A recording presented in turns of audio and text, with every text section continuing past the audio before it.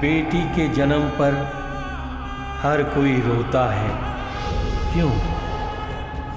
बेटा हो जाए तो जग चैन से सोता है। क्यों? बेटी बड़ी हो तो पाबंदियाँ लग जाती हैं। क्यों? घर से चली जाए तो घर सूना कर जाती है। क्यों? खुशबू बन महकती है बेटी। तब भी आँखों में खटकती है बेटी। क्यों? माँ बाप पर कर्ज है बेटी। फिर भी निभाती हर फ़र्ज़ है बेटी।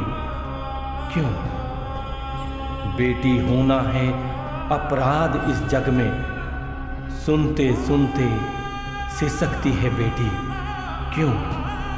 अच्छे संस्कार से ससुराल जाती है। फिर भी इज़्ज़त नहीं पाती है बेटी। क्यों? आखिर क्यों?